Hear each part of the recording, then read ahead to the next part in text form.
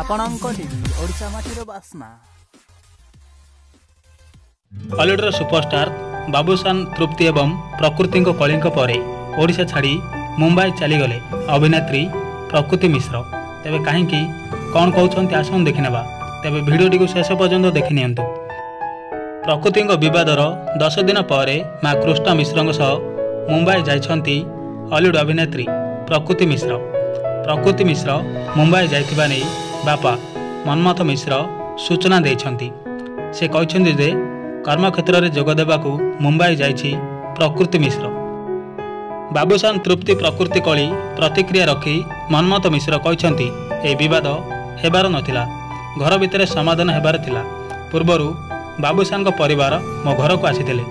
ମୁଁ ପ୍ରତିଶ୍ରୁତି ଦେଇଥିଲି ପ୍ରକୃତିକୁ ସଚେତନ କରାଇଥିଲି। ବାବୁସାନ ସହ କଥା ହୋଇଥିଲି। ରାସ୍ତାରେ ଏଭଳି ଘଟିବାର ନଥିଲା। ଘଟଣା ପୂର୍ବରୁ ମୋତେ କଲ୍ କରିବା କଥା। ତୃପ୍ତିଙ୍କ ପ୍ରତି ମୋର ସମବେଦନା ରହିଛି। ତୃପ୍ତି ବହୁତ ସହିଛି ମଧ୍ୟ। ସେମାନେ ମାମଲା ପ୍ରତ୍ୟାହାର କଲେ। ଆମେ ବି ପ୍ରତ୍ୟାହାର କରିବୁ। ଝଡ଼ ପରେ ଶାନ୍ତି ଫେରେ। ଏବେ ଶାନ୍ତି ଫେରିବ। ମନ୍ମଥ ମିଶ୍ର କହିଛନ୍ତି ପ୍ରକୃତି ନିଜର ସ୍ୱପ୍ନ କ୍ଷେତ୍ରକୁ ଫେରିଥିବାରୁ ମୁଁ ବହୁତ ଖୁସି ଅଛି। ସେହିପରି ଏହି ବିବାଦ ହେବାର ନଥିଲା। ଘର ଭିତରେ ସମାଧାନ ହେବାର ଥିଲା। ଏହା ସହିତ ସେମାନେ ମାମଲାର ପ୍ରତ୍ୟାହାର କଲେ।